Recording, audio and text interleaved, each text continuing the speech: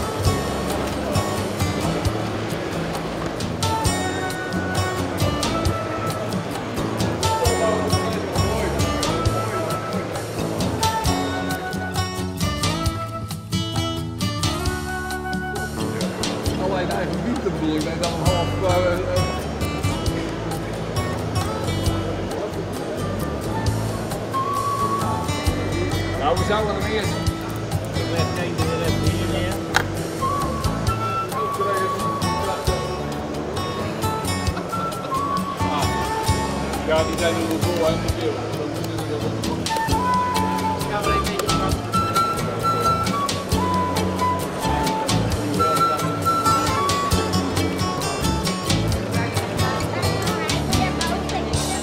thank you